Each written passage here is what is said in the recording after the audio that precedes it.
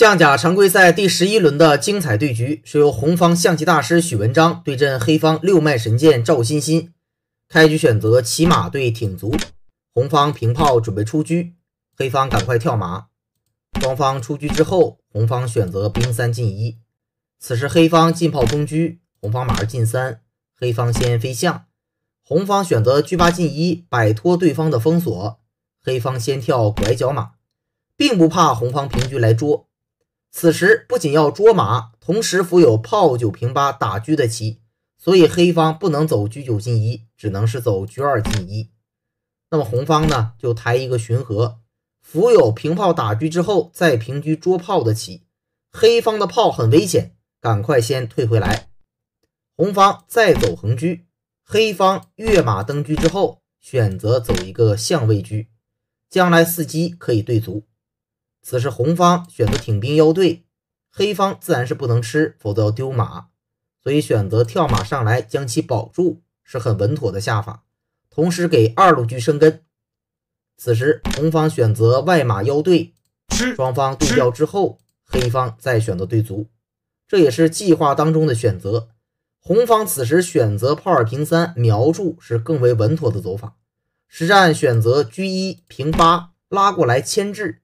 由于对方的车是有根的，那黑方可以顺势过卒，由此呢，黑方已经是反先之势。红方踩掉边卒，当前局面黑方更为紧凑的走法，可以考虑进车吃马。红方的边马没有好位，大概率只能平炮保住。那么黑方可以强硬的再弃掉马。那么红方一吃，黑方可以马四进三。这个局面下。虽然红方多子，但是黑方有双卒过河。此时打着车，如果把车简单一躲，那黑方可以冲卒，直接捉马，同时伏有马三进二的棋，显然黑方大优。可惜的是，当前局面黑方走了一步补士，错过了进车吃马的扩大优势的机会。那么红方赶快选择冲，这样呢，黑方一踩。红方可以得一个大子，黑方打，红方吃。跟刚才相比，黑方只有一个过河卒，这个补偿呢并不是很大。实战当中选择强行往下冲，因为黑方已经少子，必须要快速进攻。红方退车，黑方就继续往下冲锋。红方选择躲炮，这里打马，黑方必须要躲一下，选择退炮反打红方的马。红方选择马一退二，咬住黑方的过河卒，但这并不是重点。黑方此时平炮打马的时候，红方应该选择马七退九。其一呢是可以保住底象，不让对方乱吃；其二是亮出自己的八路车对右马的保护。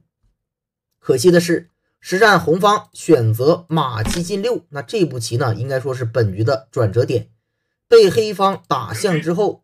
黑方平车一捉，这样一抓呢，由于二路马无根，很尴尬。这个棋呢要面临丢子，一旦丢子，那黑方就要占据主动。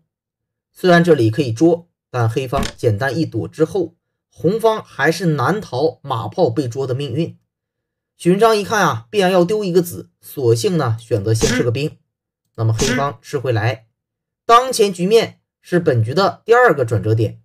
红方虽然已经吃亏，但是呢，还是有挽救的余地。应该选择炮二平五，可能更为稳妥一些。毕竟呢，对黑方是有反击力的。那如果黑方实战选择进车来吃炮，红方可以回马强行保住。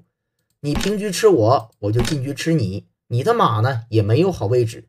如果你一味的逃跑，我就继续抓你。你回家，我可以回来保住。